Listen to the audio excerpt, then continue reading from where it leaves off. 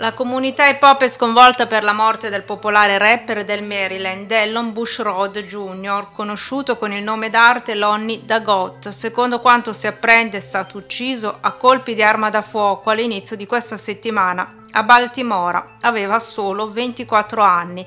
La tragedia è emersa martedì mattina dopo che la polizia è stata avvertita riguardo una sparatoria in strada, quando le forze dell'ordine sono arrivati i medici di Baltimore avevano già dichiarato la vittima morta sul posto, dopodiché la madre, Kia Fenner Bushrod, ha successivamente confermato la sua identità alle autorità.